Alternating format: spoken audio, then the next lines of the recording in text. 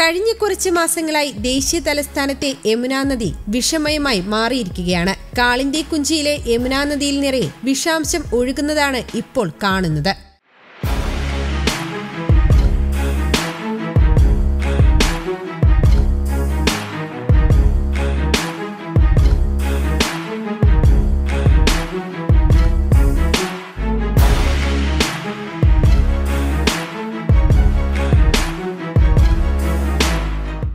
വ്യവസായ സ്ഥാപനങ്ങളിൽ നിന്നും പുറത്തുവിടുന്ന അമോണിയ അടക്കം വിഷവാതകങ്ങൾ ചില പ്രത്യേക ബാക്ടീരിയകളുമായി പ്രതിപ്രവർത്തിക്കുന്നു. ഇങ്ങനെയുണ്ടാകുന്നതാണ് ഈ വിഷപ്പതയെന്നാണ് പരിസ്ഥിതി പ്രവർത്തകർ നേരത്തെ തന്നെ ചൂണ്ടിക്കാട്ടിയത്. യമുന നദിയിൽ രൂപം കൊണ്ട വെള്ളപ്പാട് ഒരു സാധാരണ കാര്യമാണെന്നും എന്നാൽ കഴിഞ്ഞ അഞ്ചാറ് വർഷത്തിനിടയിൽ ഇത് വർദ്ധിച്ചിട്ടുണ്ടെന്നും അധികൃതർ പറയുന്നു.